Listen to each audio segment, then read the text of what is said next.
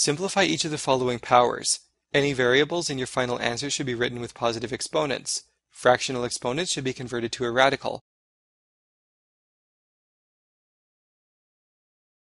Since we are multiplying powers at the same base, we can add the exponents.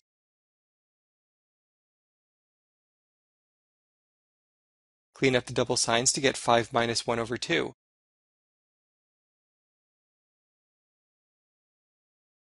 We can get a common denominator of 2.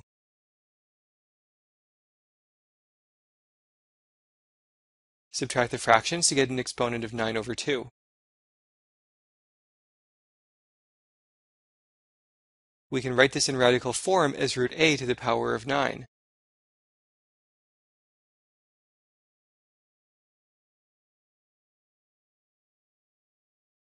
Now we'll move on to part B.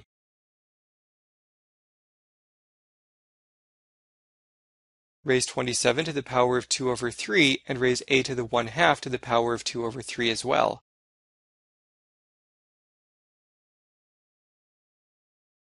Multiply the fractions in the exponent for a to get 2 over 6.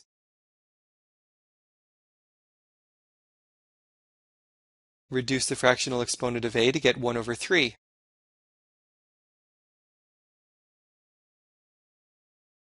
We can write 27 to the 2 over 3 in radical form as the cube root of 27 squared. We can write a to the 1 over 3 as the cube root of a.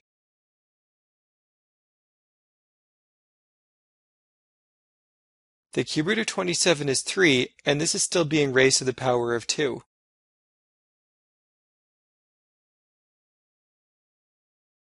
Three squared is 9. The answer is 9 times the cube root of a.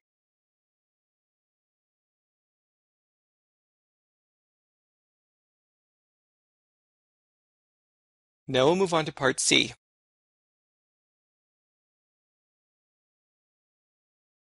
Within the brackets, write the powers so they have positive exponents.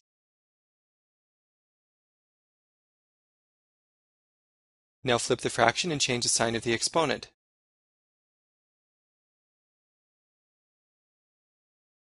Raise everything to the power of 3 over 2.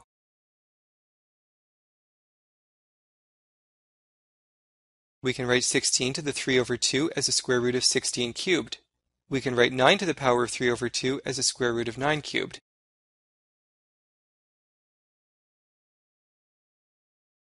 The square root of 16 is 4, and the square root of 9 is 3.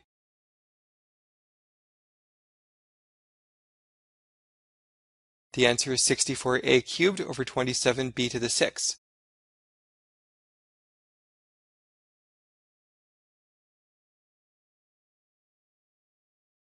Now we'll move on to part D.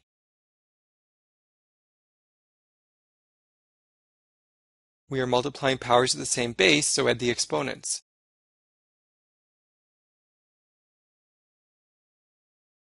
Clean up the double signs to get minus 5 over 4 minus 4 over 3.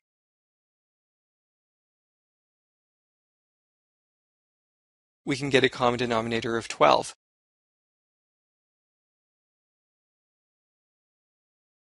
Subtract the fractions in the exponent to get minus 31 over 12.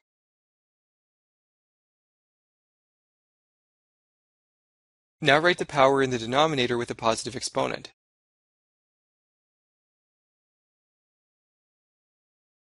The answer is 1 over the 12th root of 2 raised to the power of 31.